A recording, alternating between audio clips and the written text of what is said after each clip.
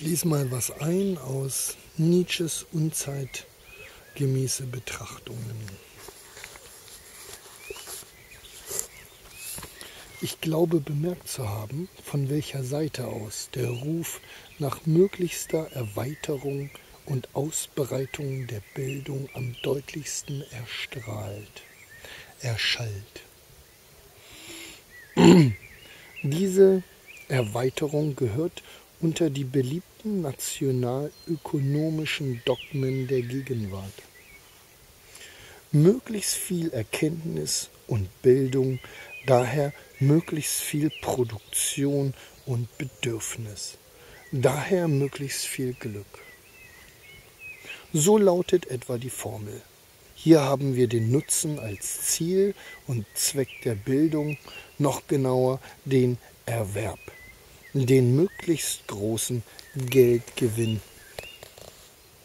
Die Bildung würde ungefähr von dieser Richtung aus definiert werden, als die Einsicht, mit der man sich auf der Höhe seiner Zeit hält, mit der man alle Wege kennt, auf denen man am leichtesten Geld, auf denen am leichtesten Geld gemacht wird mit der man alle Mittel beherrscht, durch die der Verkehr zwischen Menschen und Völkern geht. Die eigentliche Bildungsaufgabe wäre demnach, möglichst kurante Menschen zu bilden, in der Art dessen, was man an einer Münze kurant nennt. Je mehr es solche kurante Menschen gebe, umso glücklicher sei ein Volk. Und gerade das müsse die Absicht der modernen Bildungsindustrie sein, jeden so weit zu fördern, als es in seiner Natur liegt, kurant zu werden. Jeden derartig auszubilden, dass er von seinem Maß von Erkenntnis und Wissen das, groß, das größtmögliche Maß von Glück und Gewinn hat. Ein jeder müsse sich selbst genau taxieren können. Er müsse wissen, wie viel er vom Leben zu fordern habe.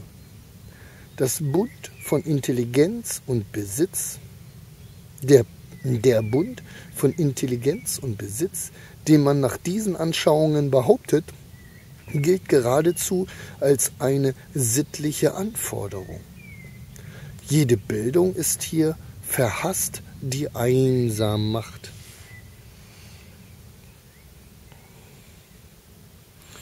Die über Geld und Erwerb hinaus Ziele steckt, die viel Zeit verbraucht.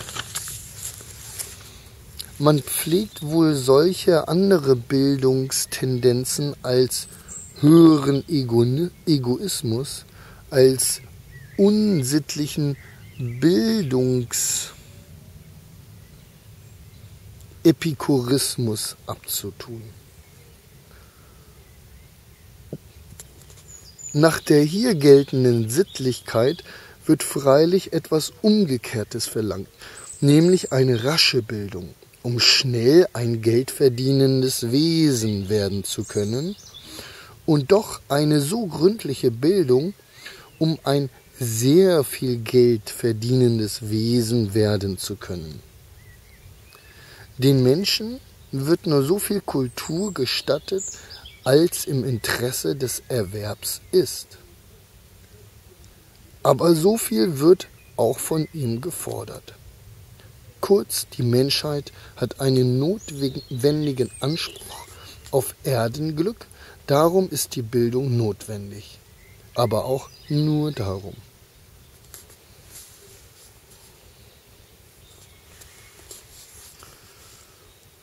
Und nun eine Passage.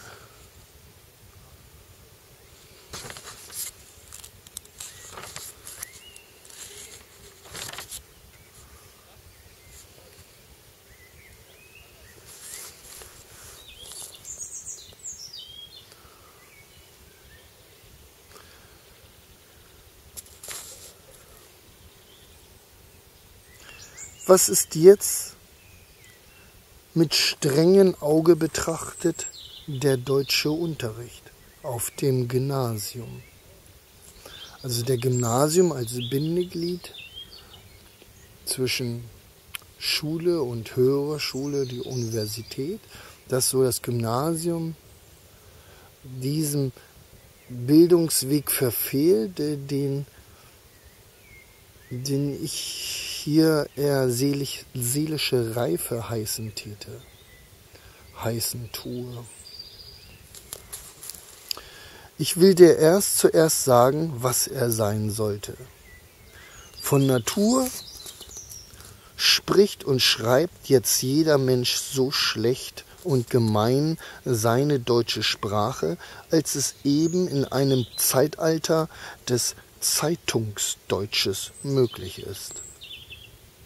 Deshalb müsste der heranwachsende, edler, begabte Jüngling mit Gewalt unter die Glasglocke des guten Geschmacks und der strengen sprachlichen Zucht gesetzt werden. Ist dies nicht möglich nun, so ziele ich, so ziehe ich nächstens wieder vor, Lateinisch zu sprechen, weil ich mich einer so verhunzten und geschändeten Sprache schäme. Was für eine Aufgabe hätte eine höhere Bildungsanstalt in diesem Punkte, wenn nicht gerade die Oktober Oktorit. Oh, was ist das für ein Wort? Oktoritativ.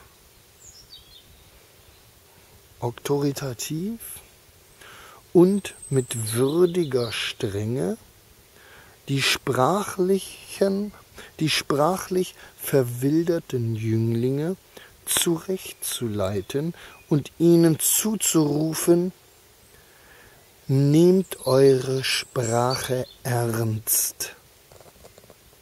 Wer es hier nicht zu dem Gefühl einer heiligen Pflicht bringt, in dem ist auch nicht einmal der Keim für eine höhere Bildung vorhanden.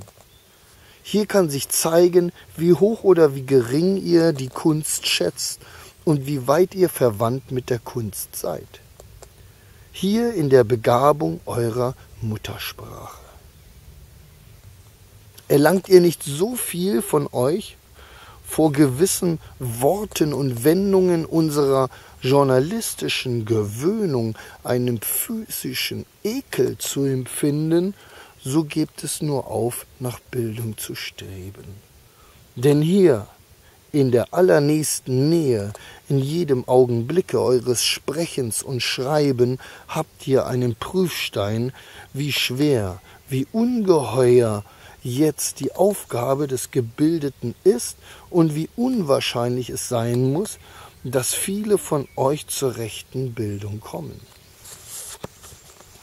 Im Sinne einer solchen Anrede hätte der deutsche Lehrer am Gymnasium die Verpflichtung, auf Tausende von Einzelheiten seiner Schüler aufmerksam zu machen und ihnen mit der ganzen Sicherheit eines guten Geschmacks den Gebrauch von solchen Worten geradezu zu verbieten, wie zum Beispiel von beanspruchen, vereinnahmen, einer Sache Rechnung tragen, die Initiative ergreifen, selbstverständlich und so weiter. Derselbe Lehrer, derselbe Lehrer würde ferner an unseren klassischen an, an unseren klassischen Autoren von Zeile zu Zeile zeigen müssen, wie sorgsam und streng jede Wendung zu nehmen ist, wenn man das rechte Kunstgefühl im Herzen und die volle Verständlichkeit alles dessen, was man schreibt, vor Augen hat. Er wird immer und immer wieder seine Schüler nötigen, denselben Gedanken noch einmal und noch besser auszudrücken und wird keine Grenze seiner Tätigkeit finden, bevor nicht die geringer Begabten in einen heiligen Schreck vor der Sprache, die Begabten in einer edlen Begeisterung für dieselbe geraten sind. Amen.